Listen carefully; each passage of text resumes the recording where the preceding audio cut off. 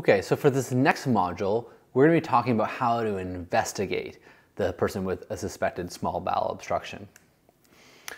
As I mentioned in the previous module, it's important to understand that bowel obstruction is really a clinical diagnosis. It's that key feature of obstipation, the failure to both pass gas and stool for a period of time, again, probably around 12 to 24 hours, which really is what makes the diagnosis of a bowel obstruction. Again, if they're passing a bit of gas and a bit of stool, really at that point they're not by definition a bowel obstruction. But you do need to have some investigation to help you determine which patients are sick and really to help confirm both the cause of the bowel obstruction and whether that history aligns with what, with what is what actually is happening. So one of the most common investigations that will be ordered is this three views of the abdomen. People will order them for any abdominal pain complaint. You might you order them on the ward or the emergency department, but it's important to understand what really are the three views and what information you're getting from them. And I would suggest that this is the first test that you should be ordering when you're considering a patient who has a bowel obstruction. The first view is the upright abdomen. The upright abdomen is very useful because it shows us those air fluid levels that are a very classic feature of a bowel obstruction. Now, air fluid levels can be present in both mechanical and functional bowel obstructions. So even uh, gastroenteritis or an ileus from a medical cause can cause these air fluid levels to be present. But they are a very common feature and are expected to be found when you're looking at a patient with a small bowel obstruction. Typically we say greater than three air fluid levels is clinically significant, but I wouldn't get caught up on those numbers. Just notice that they have multiple air fluid levels and they're in groups, like you can see this group here are pretty parallel. We have this group here parallel, a few parallel groups here. That's very consistent with a bowel that's not moving fluid through anymore and uh, is very consistent with that diagnosis of a bowel obstruction.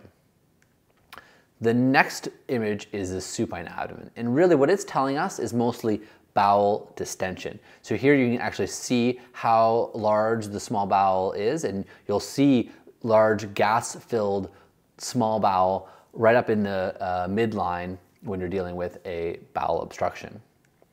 The final x-ray in three views of the abdomen is the upright chest x-ray. The upright chest x-ray will give you some clues because the abdomen is included. You'll see some signs of distended small bowel, possibly air fluid levels.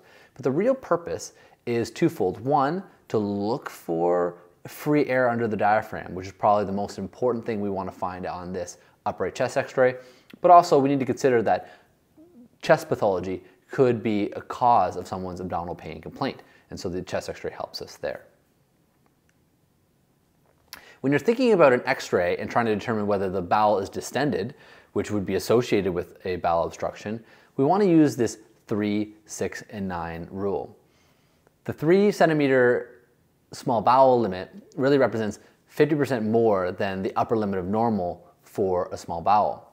So a small bowel is typically two centimeters in diameter. If we see that it's three centimeters, that's 50% above the normal for a small bowel, and that's considered dilated. Same thing with a large intestine. So if the colon has a uh, upper limit normal of four centimeters, then six centimeters on the x-ray is considered distended. And finally, the cecum, again, the upper limit of normal is typically six centimeters, so we see nine centimeters on the x-ray, that's considered dilated. And certainly a nine centimeter cecum is something that would be a red flag or concern for future possible perforation. And we wanna have that in the back of our mind if we're seeing that, that we would wanna manage that uh, very carefully. In addition to the x-rays, blood work is very useful. And to help you kind of think about what test you want to order or other uh, information you want to get about a patient with a small bowel obstruction, it's useful to use this fatal acronym. That's fever, acidosis, tachycardia, abdominal pain, and leukocytosis. So specifically the acidosis, we're going to want to have a lactate on our blood work. And for the abdominal pain, just recognize that we're really talking about peritonitis here because the typical patient with small bowel obstruction will have some abdominal pain complaints. And so that's not abnormal or concerning. But if they have peritonitis, rebound tenderness, percussion tenderness, those features, that's considered concerning in the setting of a small bowel obstruction. And we want to look at the white cell count because if it's elevated, then that's a serious concern in someone who has a small bowel obstruction. I would also say some additional tests like creatinine would be useful because you do want to make sure they're not an acute renal failure. Your bowel obstruction itself is going to potentially cause volume loss and depletion, uh, and that's going to be evidence in our tachycardia part of fatal. So I'd even include things like creatinine in that T for tachycardia. It's a volume status assessment. Do they have signs of acute renal failure? So something to add in on your, on your order if you're considering someone with a small bowel obstruction. Now, again, I've talked about these categories on the previous lecture of large bowel versus small bowel and how those are very important for us to differentiate the management plan. So it is useful to differentiate on x-ray between large bowel and small bowel, and we're gonna go over that now.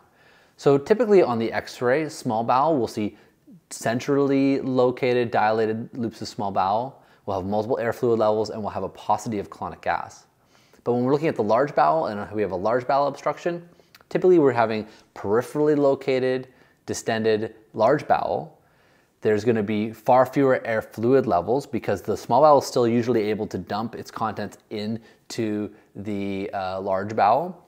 And then there's a paucity of gas in, this, in the uh, in the uh, small uh, bowel again because it's still typically able to dump that fluid into the uh, colon despite the obstruction.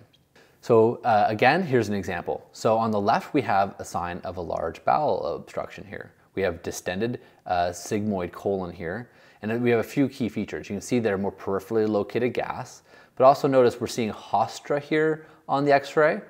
These are lines that don't go completely across.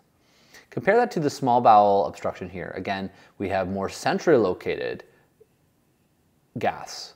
You see the loops are, are spinning through the center here uh, in a more dense pattern. We have these uh, lines that go all the way across the small bowel. These are the valvulae connivente or the plicae circularis that we're seeing on the small bowel uh, x-ray.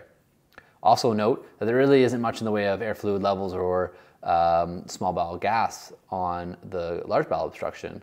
Same here on the small bowel obstruction. We actually have a paucity of large bowel gas. Again, consistent with the small bowel obstruction. Last thing, just so you know that there's a contrast in the bladder here. This patient probably had a CT scan at some point and we're just seeing excretion of the IV contrast in the bladder. That's not a significant finding on this x-ray. So next we're gonna move on to management of bowel obstructions.